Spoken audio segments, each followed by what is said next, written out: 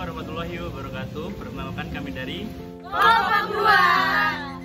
Perkenalkan nama saya Jopin Saputra. Perkenalkan nama saya Nada Widya Chandra Nurani. Perkenalkan nama saya Sefa Aulia. Perkenalkan nama saya Yuni Krisnawati. Perkenalkan nama saya Alinta Hanifah. Perkenalkan nama saya Dina Rosa.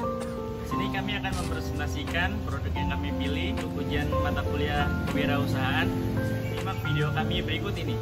Stres merupakan sebuah reaksi yang normal pada tubuh manusia yang tidak pandang usia, baik itu usia anak-anak, remaja, orang tua maupun usia dewasa.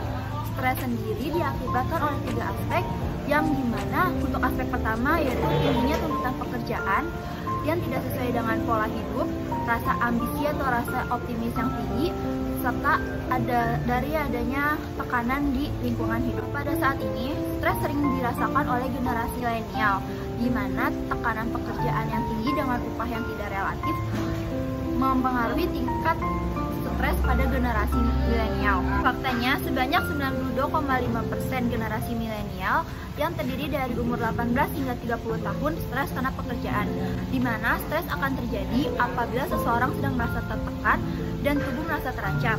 Stres dapat mengakibatkan sistem saraf yang akan merespon dan melepaskan hormon stres yaitu disebut adrenalin dan juga kortisol. Kondisi ini dapat diatasi dengan berbagai macam cara. Salah satunya yaitu dengan penggunaan pengobatan alternatif yang di mana yaitu aromaterapi yang e, minyak dari aromaterapi ini minyak esensial itu dapat diformulasikan dengan lilin yang membawa e, molekul ke dalam saraf hidung dan otak yang di mana mereka akan merangsang reseptor bau dan berinteraksi dengan sistem saraf dan limbik tubuh. Oleh karena itu, kelompok kami akan memilih usaha lilin aromaterapi dengan nama usaha yaitu Eye Flower Craft. Di sini saya akan menjelaskan alasan kelompok kami memilih usaha lilin. Karena seperti yang sudah dijelaskan di awal, bahwa tren candle aromaterapi saat ini bagus. Sebab segmentasi pasar yang dituju sebenarnya kaum milenial atau anak muda. Namun ini juga dapat menjangkau segala kalangan usia di atas 12 tahun. Dapat digunakan sehari-hari sebagai bantuan relaksasi atau media untuk meredakan stres. Baik, di sini saya akan memperkenalkan alat dan bahan yang digunakan dalam pembuatan scatter candle. Yang pertama ada wadah. Wadah ini bisa terbuat dari kristal, semen, keramik maupun kaca. Yang penting dia tahan panas. Dua ada wax. Uh, atau lilin. Ini adalah menjadi bahan dasar pembuatan scatter candle. Lalu yang ketiga ada minyak. Atau yang biasa kita sebut sebagai oil. Yang di mana ini untuk agak si lilin tersebut wangi. Lalu ada sendok. Untuk mengaduk punya sendok bisa mengganti dengan stick es krim. Yang selanjutnya ada yang namanya sumbu. Nah sumbu ini bisa uh, ada dua. Ada sumbu kayu maupun sumbu yang terbuat dari kartun fungsinya sama saja tergantung pada selera. Namun pada kali ini saya akan menggunakan sumbu kayu. Lalu berikutnya ada sprit untuk mengambil si vagis oil tersebut agar uh, tepat pada ukuran. Ada yang namanya penusuk lilin. Penusuk lilin ini berguna untuk jika kita lupa memberi sumbu pada lilin, lilin tersebut sudah keras, kita harus menusuknya. Untuk fungsi untuk membolongkan si uh, lilin tersebut agar bisa menaruh sumbu. Ada yang namanya perangkap lilin ini uh, untuk agar si sumbu itu tidak, goyang-goyang. Lalu ada bunga. Yang di mana bunga ini? Uh, untuk menghias lilin uh, bebas. Bisa menggunakan apa saja sesuai selera bisa dipakai ataupun tidak. Lalu berikutnya ada kompor. Itu adalah ada uh, wadah stainless steel atau aluminium foil. Bisa diganti menggunakan apa pun yang tahan panas. Saya akan mendemonstrasikan bagaimana cara mem membuat lilin. Nah untuk uh, pertama kita harus memasukkan si lilin ini atau wax ke dalam wadah. Lalu kita akan memasukkan wax ini ke dalam wadah ini. Lalu kita langsung saja masak ke dalam masak menggunakan kompor listrik sebenarnya ada dua metode. Uh, kenapa saya menggunakan kompor listrik sebenarnya paling aman ya dalam pembuatan lilin? Menggunakan kompor gas itu panasnya tidak tidak merata. Kompor gas kita harus menggunakan metode buat coklat kalau menggunakan metode seperti ini ikutnya si lilin itu tercampur ke dalam air. Itu kita juga tidak bisa memastikan panasnya semata atau tidak.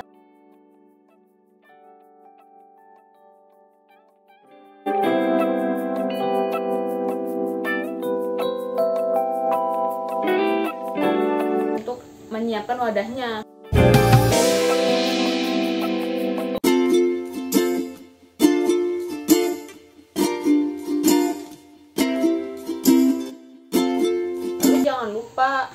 ketika dia sudah menjadi air atau sudah meleleh kita harus mengukur sih suhunya tersebut Fahrenheit yang di mana sekitar kurang lebih 150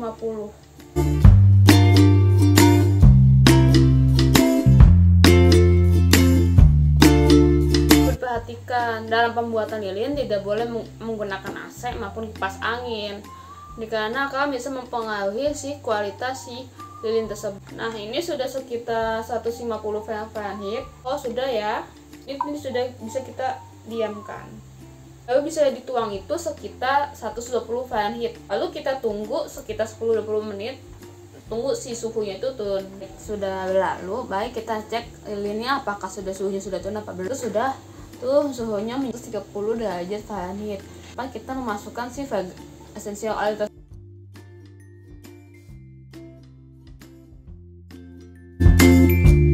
sudah masukkan si mata api ini kita harus mengaduknya agak agak merata.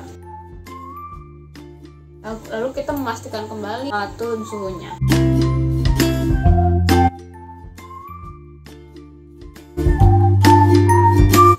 Suhunya sekitar 120 derajat Fahrenheit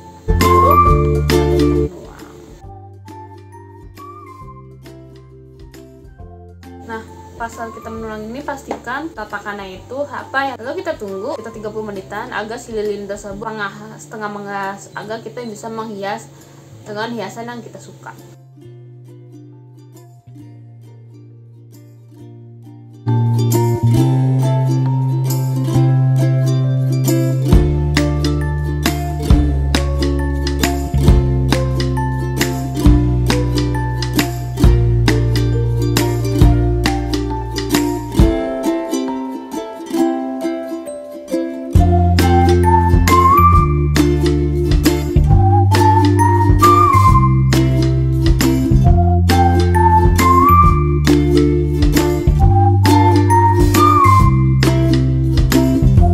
lama ya maka jadilah lilinnya seperti ini.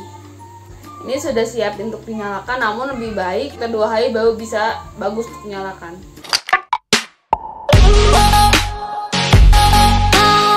Baik, untuk hal yang unik dari produk kami adalah yang pertama itu bisa custom baik dari warna ataupun aromanya dan pilihannya pun bervariasi. Aromanya. Dan pilihannya pun bervariasi. Uh, harganya terjangkau tapi untuk kualitasnya pasti dipastikan itu berkelas atau berkualitas. Dan uh, untuk dari produk kami uh, candle aromaterapi dari iFlower Craft ini tersedia di e-commerce uh, yaitu Tokopedia. Jadi uh, untuk pembeli itu bisa membeli dari uh, jangkauan area mana saja karena itu tersedia di uh, e-commerce. Dan selain itu kita juga bisa membeli dari uh, bahannya saja. Jika kita ingin membuat uh, sendiri dari uh, candle ini. Lalu untuk problem atau masalah yang dihadapi oleh uh, usaha kami yaitu uh, produk ini mudah rusak. Yang mana jika misalnya dikirimkan ke area yang lumayan jauh ditakutkan nantinya dalam uh, proses pengirimannya itu akan. Kemudian yang berikutnya adalah ancaman pesaing juga resiko produksi yang mudah gagal. Karena kan bahan dari candle ini cukup sensitif. Itu adalah penggunaannya yang memerlukan pengawasan memiliki anak kecil disarankan untuk uh, meletakkannya jauh dari uh, jangkauan anak kecil setelah itu untuk produksinya pun masih terbatas karena belum ada karyawan setelah itu uh, minimnya modal dan juga toko fisiknya belum ada sehingga untuk customer sendiri itu untuk mencoba produknya sebelum membeli itu masih terbatas dan itu bisa mengurangi dari uh, minat customer untuk membeli produk. Yang selanjutnya yaitu cara mengatasi masalah yang ada. Yang pertama dengan packaging lebih ekstra mungkin pakai bubble wrap dan bisa pack ekstra packaging meliputi asuransi, jaminan produk dan penjualan kepada pembeli. Bahkan produk akan sampai dengan bagus tanpa mas rusak. Jika rusak akan diberikan ganti tetapi pembeli akan dikenakan charge. Yang kedua yaitu ada ancaman pesaing cara mengatasinya itu mempertahankan kualitas yang ada lebih kreatif dengan bereksperimen dan promosi lebih ditingkatkan terutama di sosmed dan harus menarik iklannya bisa dengan cara membuat tutorial bagaimana cara membuat aromaterapi yang ketiga yaitu ada resiko produksi cara mengatasinya itu lebih teliti dalam pembuatan memperbanyak ilmu atau pengetahuan atau inovasi dengan cara ikut banyak workshop atau pelatihan. Yang keempat yaitu banyak penggunaan. Cara mengatasinya itu harus ada label peringatan dan diberikan warning card pada kemasan. Untuk pembeli pastikan peletakan dari candle jauh dari jangkauan anak-anak. Yang kelima yaitu produksi terbatas. Cara mengatasinya yaitu promosi untuk menjangkau pelanggan lebih banyak sehingga kunjungan meningkat dapat merekrut pegawai. Kenapa? Yang keenam, minimal produk cara mengatasinya yaitu harus mencari investor atau pinjaman modal dengan suku bunga rendah seperti Tokopedia yang menyediakan toko modal. Yang ketujuh yaitu toko fisik berusaha bisa membangun toko sendiri namun karena modal bisa mengajukan kerjasama dengan toko fisik yang sudah ada untuk partnership. Yang ke-8 yaitu keterbatasan pembeli buka toko fisik atau membuka workshop atau ikut bazar dengan membuka talent di sana misalnya satu bulan satu kali di lokasi tertentu dan dapat dipromosikan di media sosial iFlower Craft, salah satunya mungkin Ina Craft. Selamat siang Kak, perkenalkan kami mahasiswa Universitas Nasional ingin ingin mewawancarai Kakak mengenai usaha yang sudah Kakak rintis. Uh, sebelumnya dengan Kakak siapa? Uh, saya dengan Alin. Baik Kak Alin, untuk usaha ini kan Kakak merintis usaha sebuah candle ya Kak ya? Iya. Nah, kenapa ya Kak alasan Kakak memilih usaha ini? Karena hobi sih Kak kebetulan karena hobi ya. Uh, hobi itu suka kayak apa namanya ikut ikut workshop gitu dari segala workshop tuh yang kayak oh yang kemungkinan booming itu lilin gitu. Uh, terus kak kelebihan dalam berusaha candle ini tuh apa ya kak? Uh, sebetulnya uh, pesaingnya tuh dikit, cuman banyak yang usaha-usaha baru yang tidak tidak apa namanya tidak mementingkan kualitas. Jadi asal buat, asal jadi, yang penting ngejual murah dengan dengan harga yang murah tanpa mementingkan kualitas. Kalau untuk kekurangan itu apa kak? Kalau kekurangan sebenarnya lebih kepada cara pembuatannya ya. Pembuatannya ini sensitif udah kayak cewek ya. Maksudnya kayak ibaratnya kayak uh, kita lupa kita lengah sedikit aja tuh lilin bisa bisa gagal. Kayak salah lupa apa namanya uh, suhunya kegedean apa kekecilan apa gimana itu bakal jadi pengaruh di lilinnya itu sendiri. Lalu untuk uh, pesaingnya sendiri bagaimana kak pesaing dalam usaha pembuatan candle ini? Uh, kalau untuk pesaingan sebenarnya kalau emang yang mementingkan kualitas kebetulan pesaingnya sehat ya. Sebenarnya jenis lilin pun banyak. Ada yang parafin yang buat rumah tangga ada yang buat kaki yang buat bulu. Itu kan jadi lilin juga beda-beda. Cuman mereka tidak bisa membedakan mana lilin yang buat bagus buat kesehatan mana yang enggak. Lalu untuk usahanya ini kakak uh, usaha sendiri atau ada join partnership gitu? Uh, kebetulan ada partner ya kak. Itu join income atau bagaimana? Join income. Baik kak, terima kasih untuk wawancara sore hari ini. Mohon maaf sudah mengganggu waktu kakak. Saya ucapkan terima kasih banyak kak. Baik kak, terima kasih kembali. Selanjutnya saya akan menjelaskan tentang analisis produk.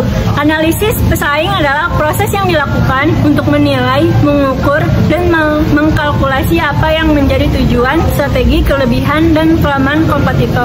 Proses ini perlu dilakukan untuk memutuskan reaksi perusahaan terhadap pesaing. Analisis ini juga dilakukan untuk mengidentifikasi kelebihan dan kelemahan pesaing, dan juga ancaman dan peluang yang tersedia berdasarkan strategi yang diambil pesaing.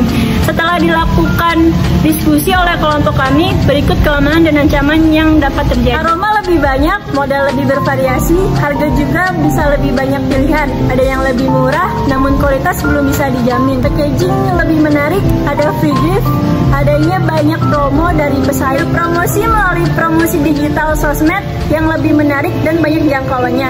Lokasi lebih dekat sehingga pengiriman lebih cepat. Tersedianya di banyak event hanya satu e-commerce saja. Oke, sekian presentasi dari kami. Terima kasih telah menyaksikan video dari presentasi kelompok kami. Semoga bermanfaat. Salam berusaha!